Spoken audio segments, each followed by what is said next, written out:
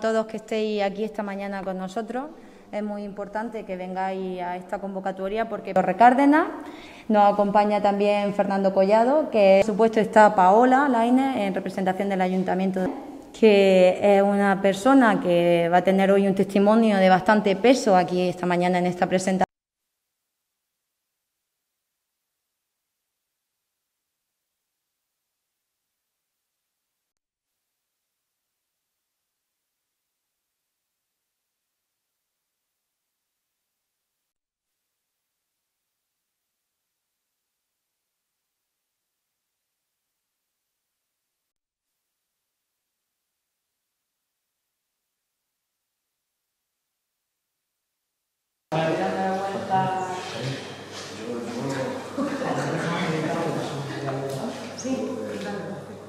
Realizamos esta campaña que hoy se presenta, una campaña de difusión y de prevención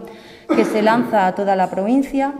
y el eslogan principal que llevamos, que queremos trasladar es lo hablamos, que se hable del suicidio es como un tema tabú, un tema incómodo que, no se trata y que eh, las personas que en algún momento puedan verse que tienen algún pensamiento suicida, suicida, pues lo callan o si lo dices como calla, calla, no hablemos de eso. Y mm, los profesionales en la materia pues, pues indican que lo apropiado en estos momentos pues hablarlo, que se, se comunique, se traslade a tu persona llegada, a tu entorno y luego, sobre todo, también utilicemos las herramientas que hay para, para, quitarnos esos pensamientos de la cabeza, como es, por ejemplo, el teléfono de la esperanza, con todo el grupo de profesionales que hay dentro de, que forman parte dentro del teléfono de la esperanza y, por supuesto, cómo no, contactar con los profesionales sanitarios que tienen un papel fundamental y que nos van a dar las herramientas necesarias para afrontar ese pensamiento y, quitarlo de la cabeza. El problema de la salud mental, un problema que en los últimos años se ha agudizado y que una consecuencia de estos problemas de salud mental es el suicidio. El suicidio es una palabra tabú que está estigmatizado, que nadie se atreve a mencionarlo,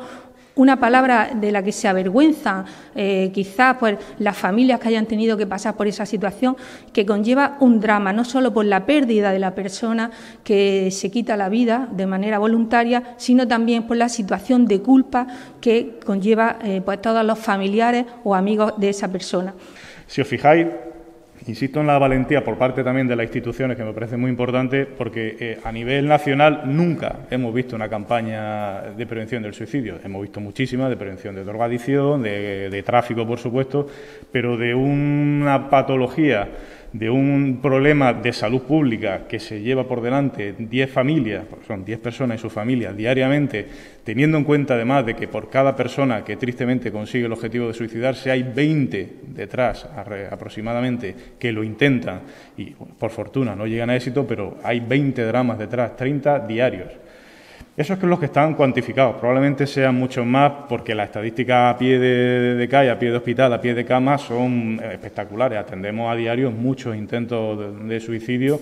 eh, solo en nuestro hospital. Eso multiplicado por todos los hospitales de este país es una, es una enormidad. En cualquier caso, insisto en la valentía y, y en el agradecimiento profundo a todos los participantes de esta campaña, que se centra como que se puede salir, que, hay muchas herramientas que se pueden utilizar por donde se puede buscar otra vía, otra salida. Y, nada, y que la vida es, muy bonita, que, está para vivirla y, y que hay que seguir adelante. Quiero recargar, por supuesto, la, de la importancia de la atención plena que, fue lo que, lo que a mí me ayudó. Una gran profesional como es Marisol Parral, digo su nombre porque sé que tengo permiso para decirlo